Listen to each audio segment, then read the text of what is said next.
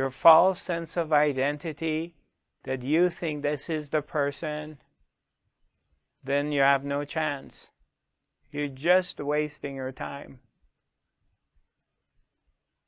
You're going to probably get another chance to come back and repeat repeat the same thing. But that's not going to be this time. I assure you, you can't walk through this gateway if you don't have and feel that sense of urgency inside you and the willingness to sacrifice everything for awareness, you have no chance. You just bounce from one teacher to another teacher, one set of teachings to another set of teachings because it's comfortable, because it's trendy, because it's new, because it's cool. But you're avoiding the jump. You're avoiding what needs to be done. And that's why so many have tried to reach the peaks of consciousness and very few have succeeded. Very few have liberated and the rest stay where they are. In Maya, the world of illusion.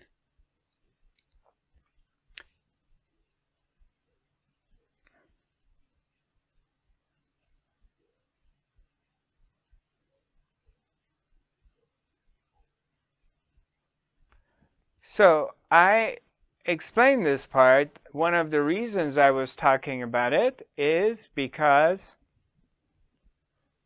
I want to share with you this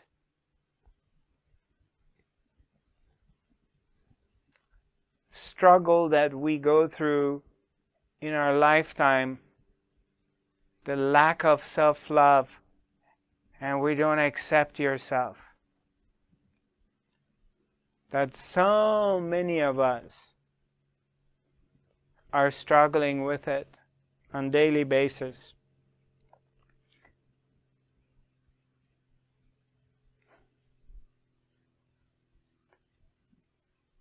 I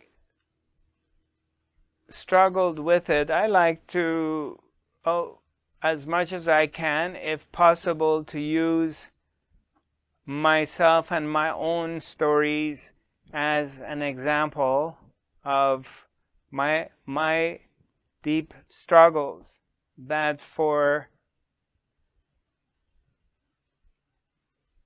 maybe from the time I left Lucknow to it was like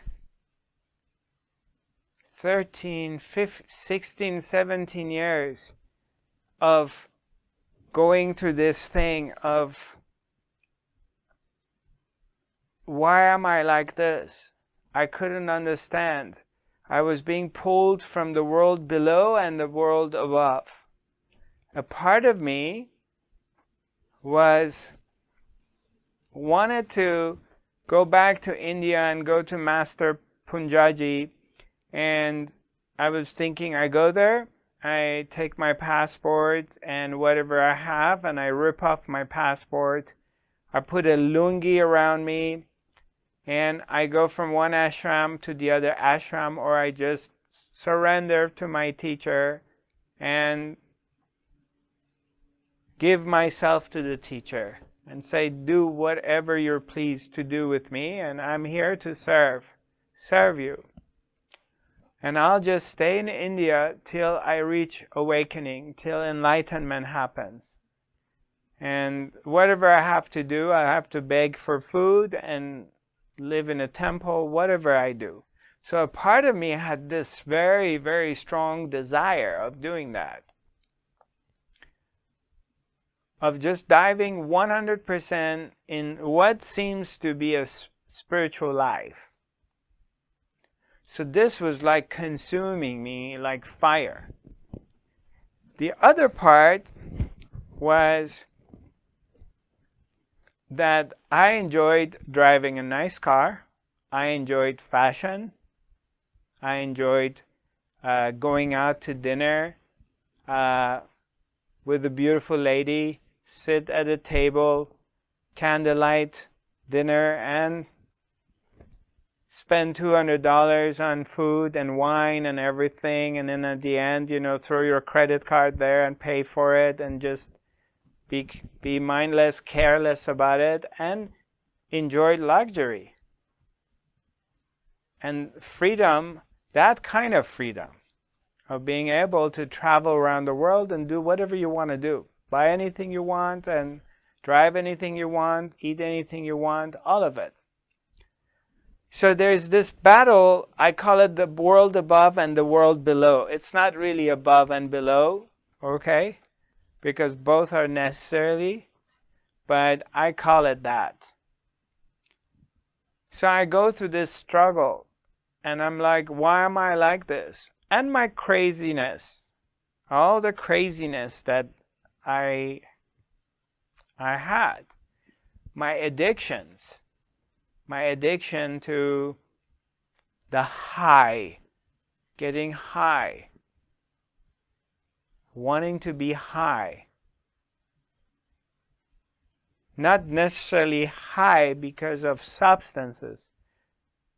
Being high to be around my guru, getting this high that I get from when coming into this energy field.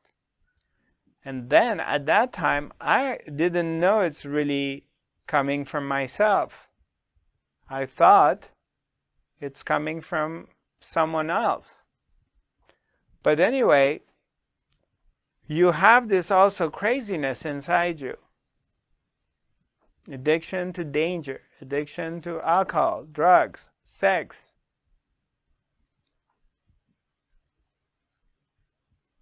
really seriously being consumed by it. Then, so you have this very powerful duality inside you of one part is you're yearning and crying for being holy and being really still and dedicating yourself like a monk to godly life, godly world, purity that you imagine, you think, it's pure. And the other part of you is worldly, is loving the pleasures of senses and wants to do anything for more. Is that does that sound familiar to you? Is this something you can relate to? Or I'm the only weird one here.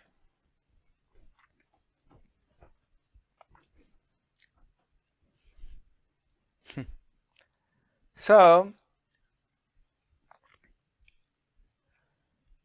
struggling into this thing, can you imagine that intensely? And since you're you are just being pulled, it, and at times I feel like I'm really being torn into pieces. I'm literally feeling torn. Someone is cutting me. Somebody has connected me from my legs and my my arms into two chariots and each chariot is going a different direction and they're just pulling me apart. I'm being torn and it's very intense. I'm going through all this thing with myself. Why am I like this? This question would always come. Why am I like this? Why do I have to be like this?